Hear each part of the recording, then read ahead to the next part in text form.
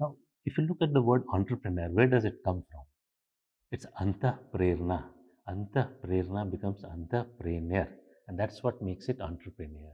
So, Indian lullaby or a game or a story will give you a lot of anta prerna, which will make you turn into a nice entrepreneur. In fact, if you look around, India is a country which will have almost 45 to 50 percent of the people who run a small or a big enterprise. They are entrepreneur. Everybody is not running for a job. And in a country of 130 crore, it will not be possible to give everybody a job. That's also a reality. We'll need people who have a lot more entrepreneur so that they end up being an entrepreneur.